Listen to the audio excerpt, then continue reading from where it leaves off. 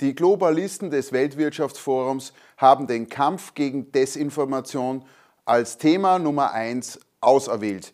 Schon Ursula von der Leyen sagte am ersten Tag des WEF in Davos, das wichtigste Thema für die nächsten zwei Jahre ist nicht Krieg und ist nicht Klima, sondern der Kampf gegen Desinformation. Das ist eine Kriegserklärung an die Aufklärungsbewegung, eine Kriegserklärung, eine Kampfansage an alle freien und alternativen Medien. Und noch nie hat jemand so offen Zensur und staatliche globalistische Manipulation gefordert. Und wir haben ein aktuelles Beispiel am selben Tag, am selben Abend im ZDF Heute Journal geht der ZDF natürlich gegen die AfD vor und berichtet umfangreich gegen die AfD. Und dann sagt die Moderatorin, sie hätte ja gerne mit Alice Weidel zu den neuen Schmutzkübelkampagnen gesprochen. Alice Weidel wollte nicht erneut ein Interview dazu geben. Und dann sagt sie, hören Sie hin. Gern hätte ich heute mit Alice Weidel über all das gesprochen. Sie lehnte die Einladung aber ab. Dann lassen wir uns das Ganze einordnen von einer neutralen Beobachterin. Julia Ebner ist Extremismusforscherin und Autorin. Einen schönen guten Abend nach London. Ja, wen meint Dunja Hayali denn mit dieser neutralen Beobachterin in London? Eine Landsfrau von mir, eine Österreicherin. Es ist Julia Ebner. Und Julia Ebner ist keineswegs neutral, vielleicht für den ZDF. Aber Julia Ebner arbeitet ihr Leben lang schon als sogenannte Extremismusforscherin und als Rechtsextremismus-Expertin. Sie schreibt Kolumnen bei der linksextremen Zeitung, Wochenzeitung Der Falter. Beim Falter schreibt Julia Ebner Kolumnen und sie ist Koordinatorin des paneuropäischen Netzwerks Familien gegen Terrorismus und Extremismus. Pan-Europa, Kalergi, war da nicht irgendetwas? Sind diese Personen neutral? Sie bewegt sich ganz klar im einschlägigen linken Milieu und wird natürlich deswegen von der angeblich objektiven ZDF-Journale als neutrale Beobachterin dargestellt. Und sie engagiert sich auch undercover. Hören Sie. Das ist absolut auf ihre Taktik zurückzuführen. Ich war 2017 undercover bei der Identitären Bewegung und auch bei einem internen Strategietreffen mit Martin Sellner unter anderem dabei.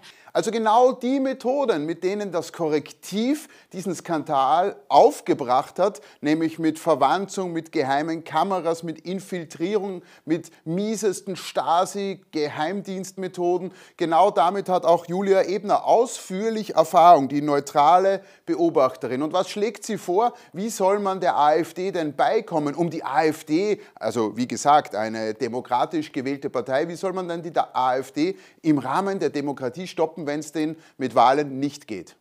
gibt es eine gewisse Schocksituation, auch bei den demokratischen Parteien. Die wollen die AfD jetzt plötzlich inhaltlich stellen, sagen Sie. Und da sagen wiederum nicht wenige, das hat doch seit Jahren überhaupt nicht funktioniert. Aber dann fragt man sich, was denn? Was dann?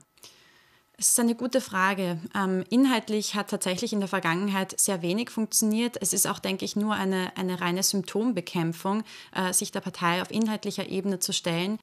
Also man soll sich nicht inhaltlich mit der AfD auseinandersetzen. Lassen Sie sich das auf der Zunge zergehen. Sie tun ja nicht mal mehr so, als würden Sie Demokratie spielen. Sie haben Ihre Demokratiesimulation völlig über Bord geworfen. Denn Demokratie bedeutet ja Diskurs, Austausch, der Wettstreit der besten Meinungen. Was können wir tun? Da lautet jetzt bei manchen die Antwort ein Verbotsverfahren gegen die Partei oder aber auch ein Grundrechteentzug gegen einzelne Politiker. Ja, und hier hat Dunja Hayali wieder eine wunderbare Suggestiv-Steilvorlage geliefert. Soll man denn nicht die Grundrechte entziehen? Manche Personen sagen, es solle ein Verbot gegen die AfD geben. Manche Personen sagen, man solle oppositionellen Medienmachern oder Politikern Grundrechte entziehen. Das sind nicht manche Personen, sondern das sind linksextremistische Antifa-Kampagnen wie von Kampakt. Über eine Million Menschen haben mittlerweile übrigens gefordert, dass man Björn Höcke und anderen AfD-Politikern Politikern einfach die Grundrechte entziehen soll, mitten in der Demokratie.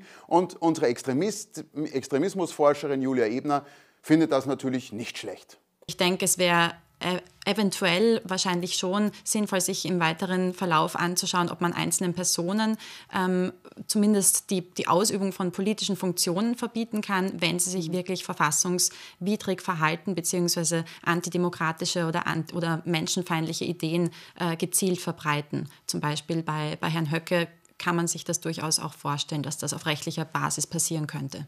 Es wird also im Staatsmedium offen darüber diskutiert, dass man unliebsamen Personen, genannt wurde etwa Björn Höcke, einfach die Grundrechte entziehen soll. Ohne Widerspruch, ohne Hinterfragen, ohne, ohne irgendeine Anmerkung, dass das vielleicht extremistisch sein könnte, dass man dann den Boden der Demokratie und den Boden des Rechtsstaats verlieren könnte. Nein, es wird offen darüber gesprochen. Und wir haben diese Phase vorausgesagt. Wir haben gesagt, dass 2024 ein Schicksalsjahr wird.